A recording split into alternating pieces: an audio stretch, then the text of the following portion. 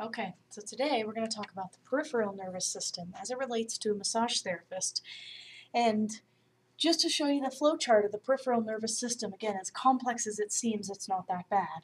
Um, we do have the central nervous system that is on the other side. So we have the central nervous system, peripheral nervous system, but we're only going to talk here because we're going to break down more of the somatic side of the nervous of the peripheral nervous system. We also have the autonomic nervous system, and that automatically happens. We don't have to think about it. So it's regulated and controlled more. And um, as massage therapists, we like to spend a little more time in stuff that we hopefully can affect. And uh, yes, we have a grand effect on the autonomic nervous system, but I want to talk about the 31 pairs of spinal nerves. Now they're way over here, so I want to make sure 31 pairs of spinal nerves um, starting at the cervical or neck we have C1 all the way to C8, which if you know your vertebrae, we only have seven cervical vertebrae, so why do we have eight? Um, I can't tell you. You might have to ask uh, uh, someone once you get where you're going in life and say, uh, you know, why, why do we have eight? I'm not sure, but I will tell you there are eight cervical nerve roots, and two of them come out right around the area of C7. So it gets a little crowded in there. In fact, if you look at the the spinous process, and if you even if you poke on it a little bit, you'll feel that it's a little bit more sensitive. Um, we will say that all of these spinal nerve roots, by the way, I forgot this part, um, all of these spinal nerve roots are what are called mixed nerve roots, and they have both a sensory and a motor portion, so they will bring information into the spinal cord and return information via the motor section. And so we're going to leave some of the big words out, but we're going to say sensory and motor equals mixed. And all these 31 pairs are mixed. So we have cervical nerve roots C1 to C8. And I'm going to spend just a few minutes here because the cervical nerve roots are very close to the surface of the skin. So if I get closer to you, I will say if you if you go from your ear hole or your, you know, external acoustic meatus, if you really are keeping track at home, and you follow it down and you'll feel these bony prominences called transverse processes. Now if you want to see them in a skeleton, there you go. These transverse processes um, are very superficial in the cervical region and we also have nerve roots coming out. In fact, very, very interestingly, a little bit different than other places in the body, we actually have um, uh, an artery that is pretty proximate to um, these nerve roots. So it can be a little painful as you poke here. You've got to poke gently. In fact, I often start by doing an unspecific, right? Working with my palm to see if there's any sensitivity with my palm, and then working my way possibly into the flats of my fingers. So knowing that the cervical nerve roots are close to the surface of the skin, we also can get to know where, where they're going to travel. And we have uh, uh, what are known as plexuses or networks of nerves within the cervical um, nerve roots. We have C1 to C4, which is considered the cervical plexus. And, and more than anything, I want everyone to know um, that uh, there's one major nerve that comes off of that. Now, there are a number of nerves, okay?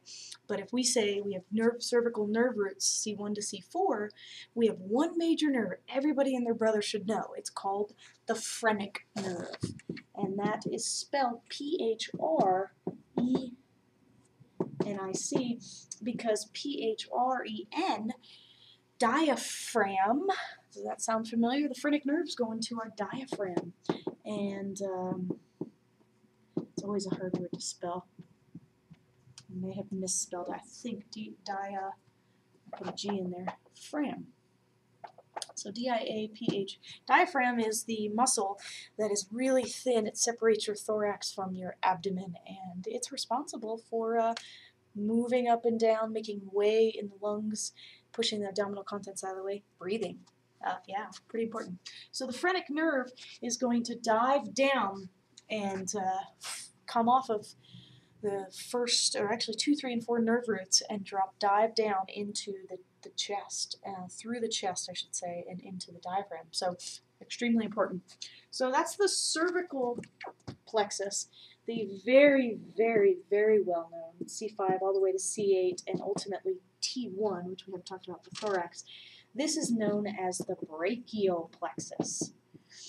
And if you know your nerve, I'm sorry, if you plexus, if you know your regions of the body, brachy, B-R-A-C-H-I, means arm. And a lot of times it can refer to the upper arm, but in this case we're talking about a network of nerves that go down into the arm. And starting at C5, C6, C7, C8, and T1, there are five, that's your key word, or your key number. Starting at C5, we have five nerve roots. All right, there's your number five, nerve roots.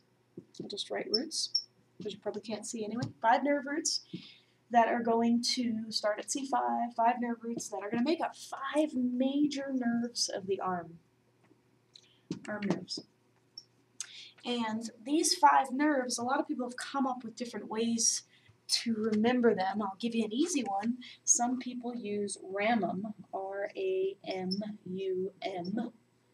or um arm. I like that one. Maybe even a little better um, arm, and we're talking about named nerves that go ulnar, median, axillary, radial, and musculocutaneous. So um arm, five major nerves coming from the brachial plexus, which starts at C5, all coming off of the majority, I should say, the majority of the nerve roots are coming off of the cervical plexus, or I should say the cervical nerve roots, C1 to C8. All right, so last two plexuses, um, we do have thoracic, but not really considered a plexus, T1 all the way to T12. The very important plexus, I'm going to have to move over to here, L1 to L5. Really, a lot of people will cut it off at L4, but this is your lumbar plexus. And again, a lot of people will consider, we'll just use sciatic, um, not sciatic, sacrum, S1 to S4 and that's your sacral plexus. And I'm just quickly going to go through these. The lumbar plexus, I'll use blue. Uh, the lumbar plexus, L1 to L5, L standing for lumbar. It is considered our low back, so think of lumberjacks having really strong low backs. But the lumbar plexus actually ends up being an anterior um, group, and in this case we're talking about major nerves that are known as the femoral nerve. Let's go into your femur, which is your thigh, the obturator nerve. Obturator means to stop up, and it's actually going to go to your adductors. Femoral obturator. And the major nerve that comes off the sacral plexus is your big bad. Everything else sciatic nerve, and that is a posterior nerve that it's very easy to find, and we can talk about it later. So get to know your nerve roots. We did the 31 pairs of spinal nerve roots. I'll add in a separate lecture for the cranial nerves because they're a little crazy. But 31 pairs of spinal nerves, and they become major nerves that are both sensory and motor. I hope that helps. We avoid nerves, right? We know that as massage therapists we avoid nerves, but we will have places where we can help the connective tissue and loosen the connective tissue so that our patients can have free-flowing nerves. That, that may not be the greatest way to explain it, but you don't want to impinge upon any any structures in the body. And sometimes I'll give you two very good examples. The very uneven scalene muscles, your brachial plexus runs between your medial and your um, or scalene medius or you know scalene number two depending upon your book and posterior scalene right here. And secondly the pectoralis minor. Right, the brachial plexus runs underneath pectoralis minor. So if your pectoralis minor is tight if your scalenes are tight they could potentially bind down on the nerve and you will see that. I'll show you from the side in forward head and rounded shoulder posture Thanks for listening.